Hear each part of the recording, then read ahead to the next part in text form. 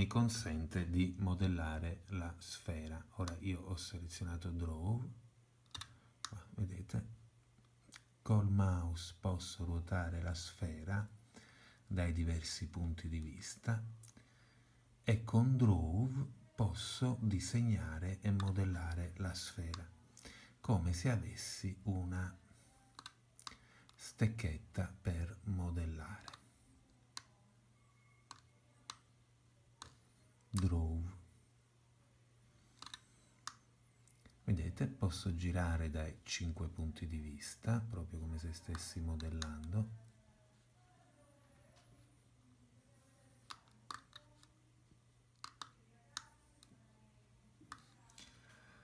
Torno su Grab, mi risistemo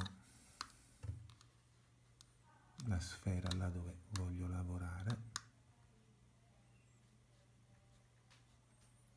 giro, torno su Draw,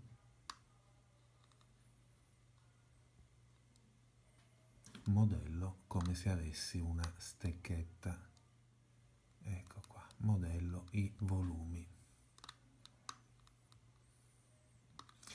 Adesso sto modellando con Draw, guardate che succede, inverto e Draw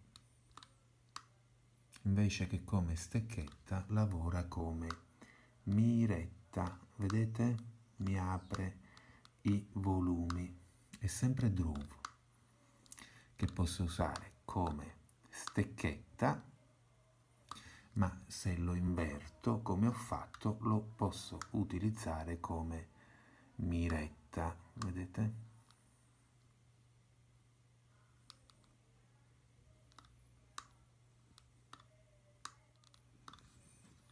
quindi utilizzo sempre se tolgo invert torno a utilizzarlo come stecchetta.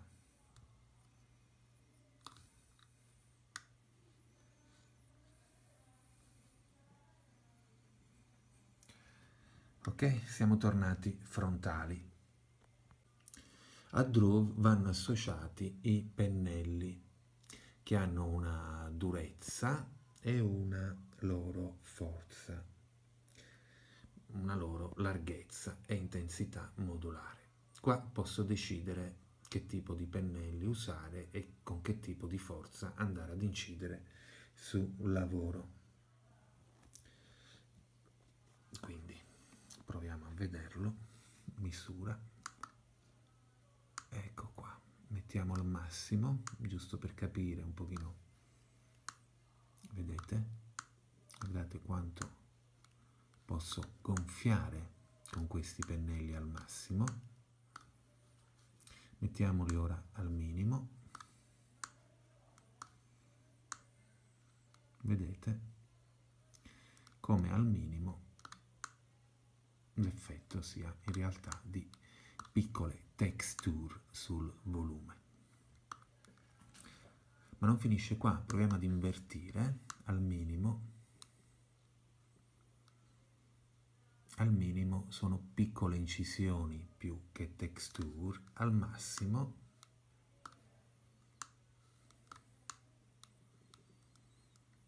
guardate con che forza vado ad incidere sui volumi. Torniamo alla misura media per recuperare un pochino il controllo sul lavoro al di là della dimostrazione togliamo il comando inverti e torniamo a modellare. Ecco qua. Quindi torniamo al punto di vista principale di questo volto fantastico. Chris che è qua è invece uno strumento per fare piccoli solchi. Eccoli qua. Ora abbiamo una misura media. Vedete quasi come se stessi usando un bulino partire dal modellato un po' casuale che abbiamo fatto a scopo dimostrativo, Chris con questi piccoli solchetti mi consente di recuperare la forma per quanto casuale, per quanto modellata, proprio come se stessimo modellando l'argilla. E di lavorare su una possibile forma compiuta. Ecco qua.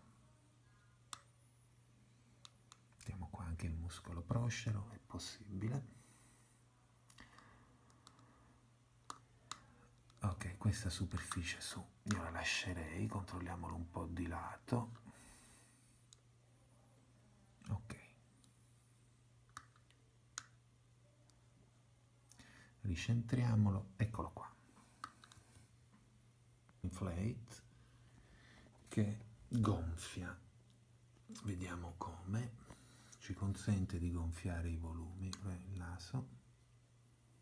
Ecco, vedete? lo gonfio, seleziono il gonfio.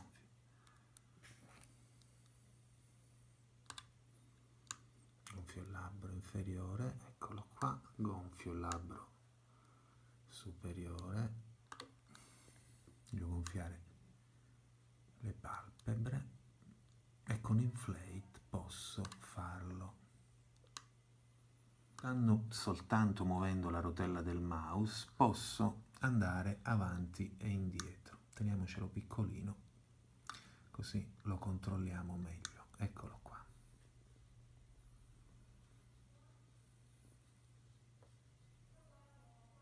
Adesso smooth, rifinire i solchi.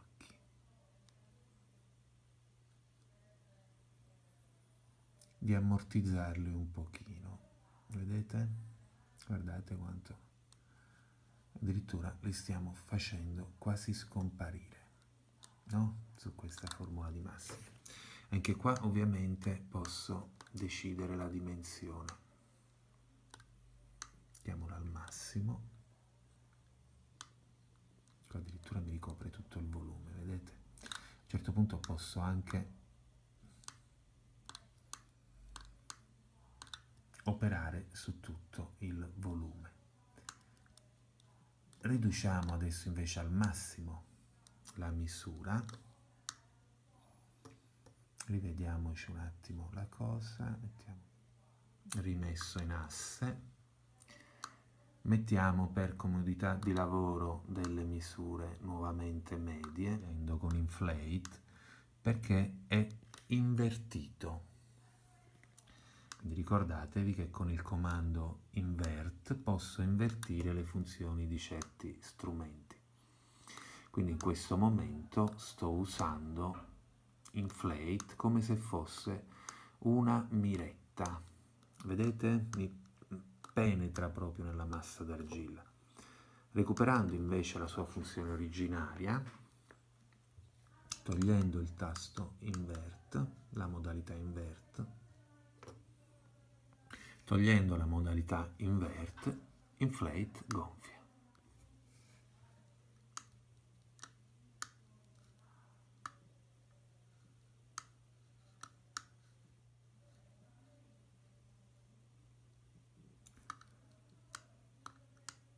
Vedete la cavità con lo stesso comando, sempre con inflate, si gonfia come se stessimo portando fuori l'argilla che prima abbiamo asportato. A farlo sul naso. Vedete? Incredibile la definizione dell'argilla.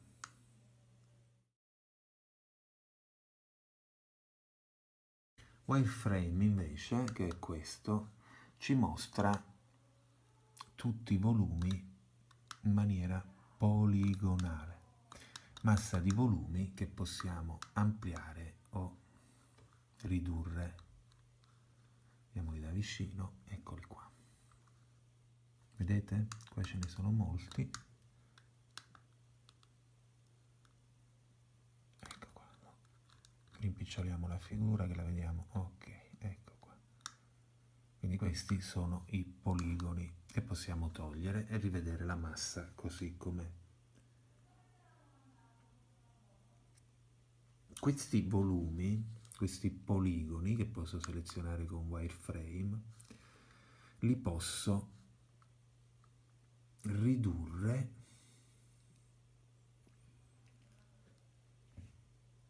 con reduce. Vedete? In questo momento li sto riducendo di dimensione che vuol dire amplificare la possibilità di definizione. Mentre invece subdivide whole subdivide all che qua ho un po' rimesso in sesto e ho ottenuto un boccioniano studio di volto anti-grazioso, un'idea di scultura futuristica giocando anche un po' sull'inversione dei comandi. Um, cosa che non vi ho detto, Wireframe, vedete, ci consente di studiare la sente di studiare quanti triangoli ci sono all'interno di questa massa plastica. In questo momento ci sono, lo vedete in questo numerino qua, 84.106 triangoli.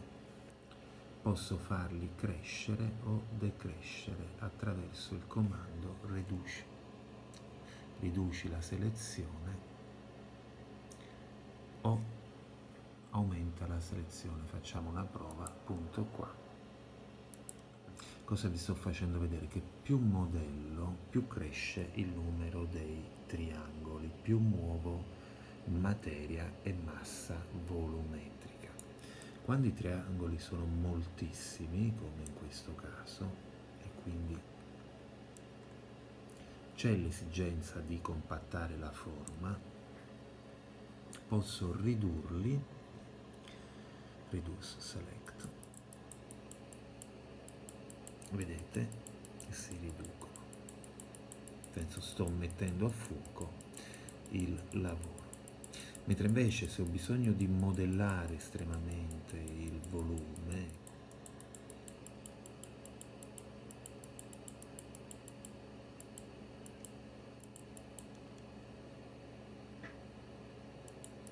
e aumenta ovviamente aumenta.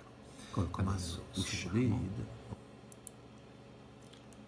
detto che abbiamo un anti-grazioso boccioniano potremmo in teoria anche continuarci a lavorare con Drove e anche giocare con i pennelli. Vedete un lavoro per un lavoro di precisione pennello piccolo. E con grande pazienza potrei mettermi a modellare invertendo quello che il modello in realtà ha sporto. L'attrezzo col quale abbiamo, andiamo a lavorare, che vedete in questo momento l'ho messo al massimo ed incide ovviamente di più.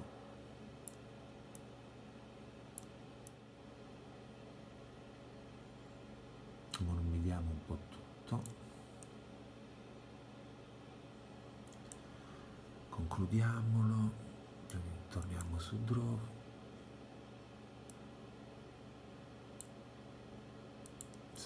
misura dell'attrezzo piccolo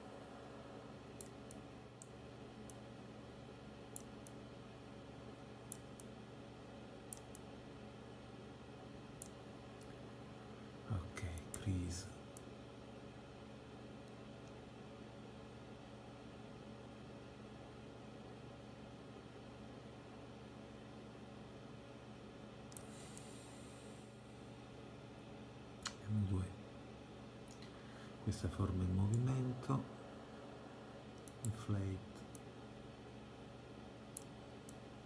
recupera un po' la massa centrale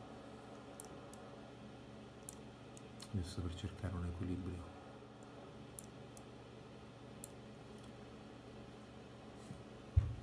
E poi possiamo anche decidere e determinare il materiale pochino che tipo di materiale possiamo usare per una forma così plasmata rapidamente. Vediamo questo silver. Eccolo qua.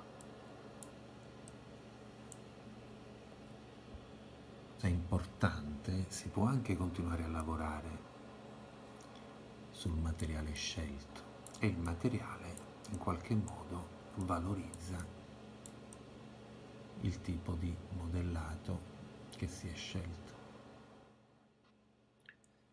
Quindi, ricapitolando, Sculptris è uno strumento possibile che aiuta a fare dei ragionamenti velocissimi su cosa può essere un linguaggio plastico a partire da una massa e un volume unico di partenza, che nella fattispecie è la sfera che puntualmente ci compare all'inizio della nostra sezione di lavoro.